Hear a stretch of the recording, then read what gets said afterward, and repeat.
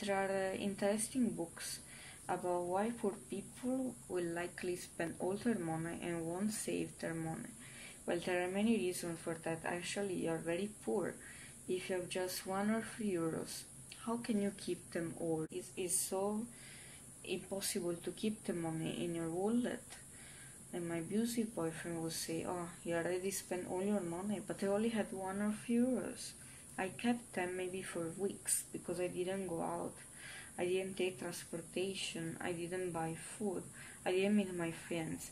And then when I go out, of course, they finish because it's the only money I have, no? And um, and then first is because they don't have enough, and maybe they keep them and they just spend them when they have them because they can't do otherwise. And second is because there are some researches which are very interesting.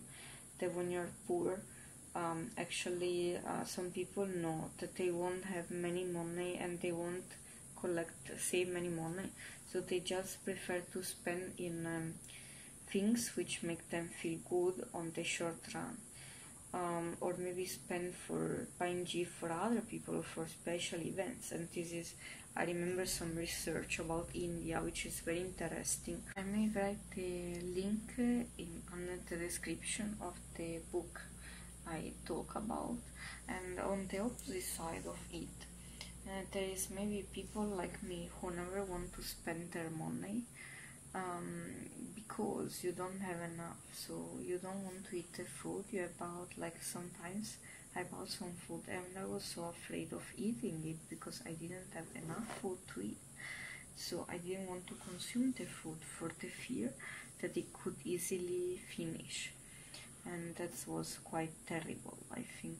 Or maybe you don't spend your money for weeks. You don't go out. You don't meet your friend. You don't order food you you don't do nothing you only accept what other people offer to you who asked you and um, and so maybe you keep one few euros all the time. So it's at the opposite of spending money impulsively as the research says.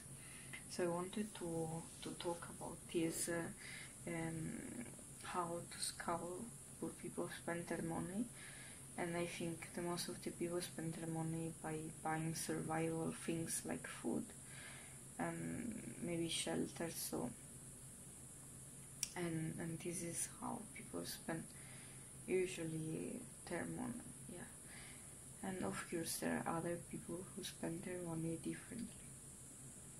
And thank you very much for seeing this other section of the video and uh, I would like also to talk about uh, if poverty is a choice or not. And so see you on next video